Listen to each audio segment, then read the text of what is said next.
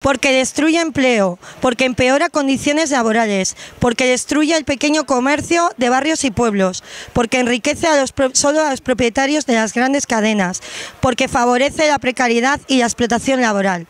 La apertura de establecimientos como Dia Go propician un modelo de comercio que mediante la ampliación del horario comercial atacan al sector comercial de nuestros pueblos y barrios. Bajo estas marcas y queriendo acaparar toda la cuota de mercado, amplían horarios afectando y empeorando las condiciones laborales de las trabajadoras.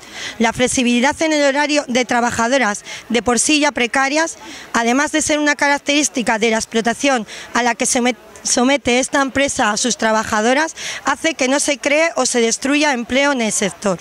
Solicitamos a los responsables de la marca Día que si abren un establecimiento lo hagan en el horario y días de apertura habituales en el sector. Hasta 12 horas diarias abiertas de lunes a sábado creemos que es un margen suficientemente amplio para realizar las compras.